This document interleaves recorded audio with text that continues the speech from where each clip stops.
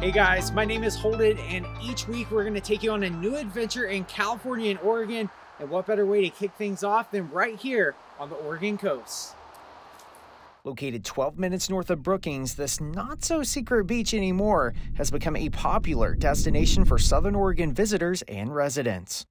There are two trailheads that can be found along Highway 101 and Sam Boardman State Scenic Corridor, but the less trafficked and more scenic can be found south of the beach at Seal Cove.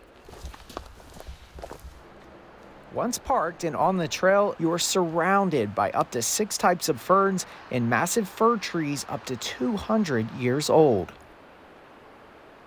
The southern Oregon coast can receive as much as 150 inches of rain per year, and with an average humidity between 80 and 90 percent, plants and trees are able to thrive.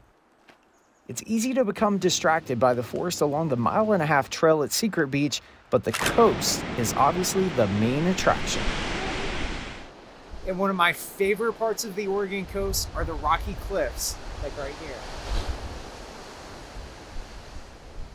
Formed by lava flows millions of years ago, the Oregon coast is composed of massive columns of basalt that have gradually been eroded by the sheer power of the Pacific Ocean over the years.